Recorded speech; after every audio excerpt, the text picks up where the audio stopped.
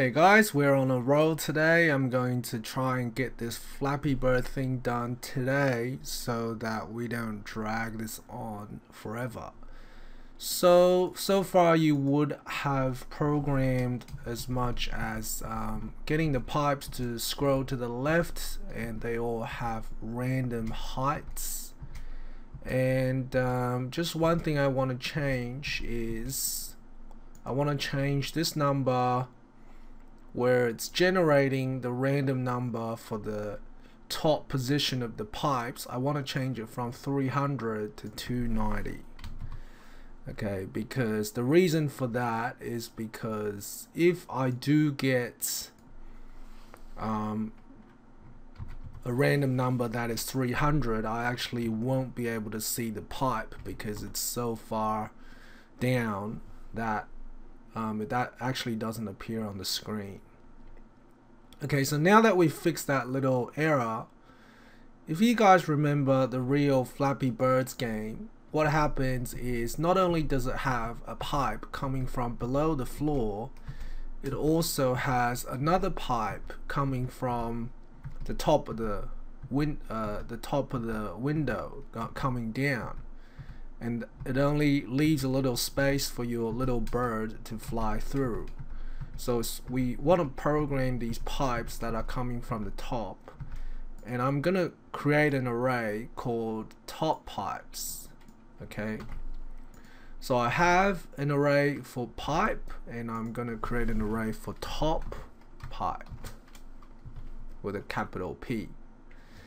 Okay and then I'm gonna obviously generate the top pipes. So other than this create pipes function I create another function called create top pipes.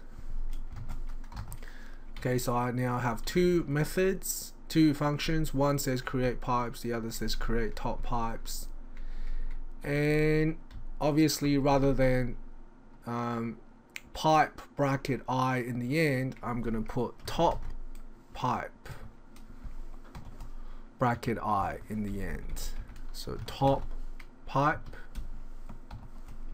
Okay so this creates the pipe that's coming from the top. Now what's the difference in the coding for the position?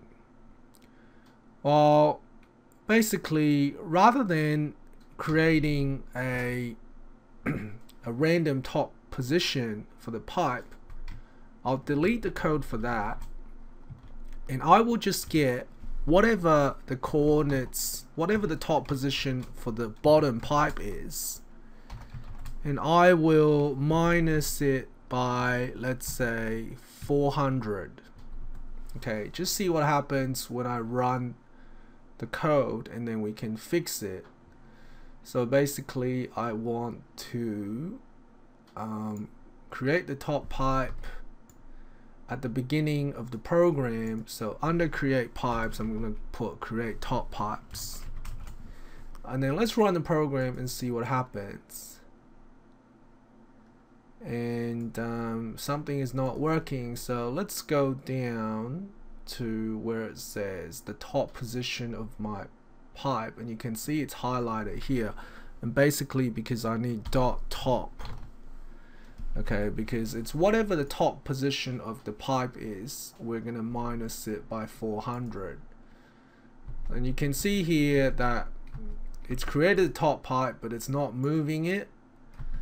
But the gap is a bit small anyway so we're gonna change this number to minus let's say 450 let's see how big the gap is. And now the gap is a bit big so let's change it to minus 440 Okay, now I want it to move to the left at the same time as my pipes. So where it's got pipe i dot left minus equal to inside my timer tick function, I'm going to do the same thing to my top pipe. Top pipe i dot left minus equal to, and then it should come to the left with my bottom pipe. And uh, the gap is pretty small so it makes it a little bit harder. Okay now um, we also want it to regenerate. So the pipes once it hits the left hand side go back to the right hand side. So pretty much have to copy this code here and change it to top pipe again so top pipe. And then here instead of regenerating the top position I'm going to copy the code for setting the top pipe to be whatever the pipe the bottom pipe's top coordinates and assigning it to the top pipe's coordinates. So this will make sure that the top pipe's coordinate matches whatever the bottom pipe's coordinate is minus 440 so if you run this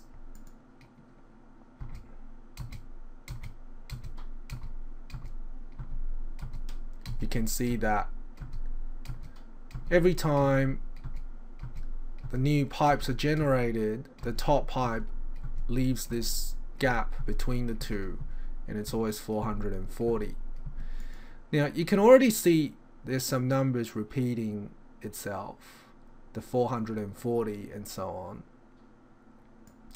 So what I want to do is at the beginning of the code, I want to create a variable that is um, determines the gap between the pipes.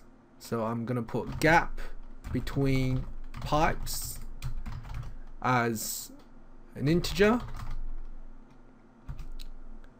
okay and basically I'm going to make it 440 for now um, we can change this stuff later. But basically I want to replace wherever it's got 440 with that variable. Gap between pipes and gap between pipes here. Okay so the reason why I want to do that is because if we ever feel like the game is too hard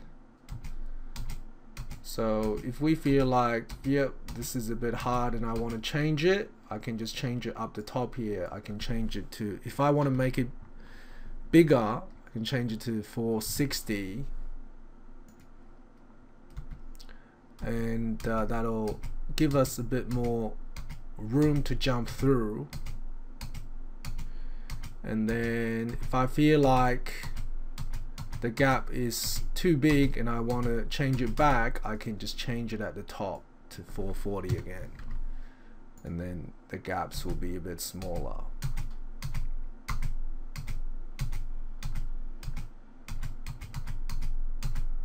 Okay. Just want to check it's working. Yep. Okay, thanks for watching guys. See you next time.